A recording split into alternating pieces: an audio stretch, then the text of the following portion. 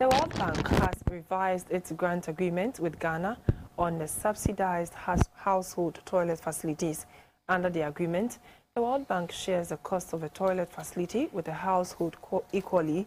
Winifred Afum reports that households now need 1,100 Ghana cedis to own a complete facility as against the initial 2,000 cedis. Mr. Abraham Nikwe, a resident of Madina in the Greater Accra region, has benefited from the Greater Accra Metropolitan Area GAMA Sanitation and Water Project. Under the agreement, the World Bank pays half of the cost of a toilet facility, whilst the user takes up the other half. Before then, Mr. Nikwe and his household had to rely on a public toilet in the Madina market meant for traders and those in transit. Because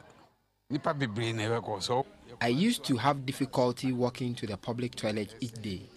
I am relieved now because I now have a toilet in my home.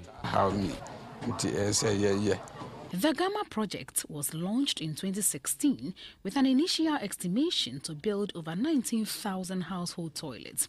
This strategy was aimed at helping to end open defecation, which continues to be a big challenge for the country. So far, about 2,190 facilities have been built in homes across the Greater Accra region. When the project was launched in 2016, interested households had to pay 2,000 Ghana cedis as half of the price for the toilets. For now, a household can own a complete toilet by paying 1,100 Ghana cedis.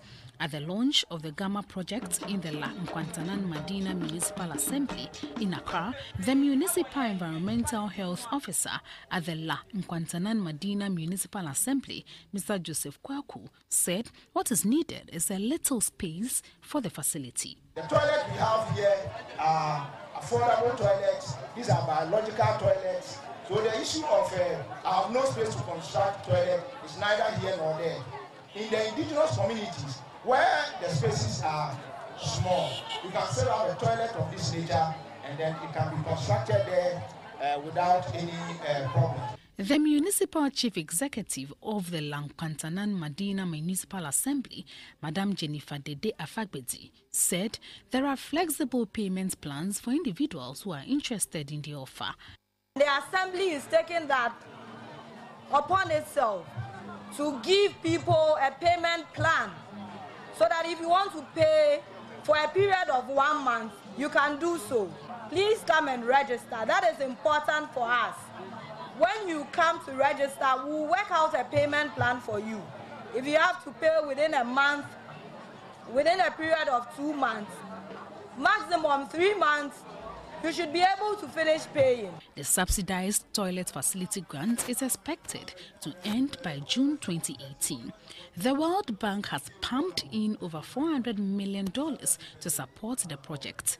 If by June 2018 the money has not been exhausted, the government of Ghana is expected to return the rest of the grants to the World Bank.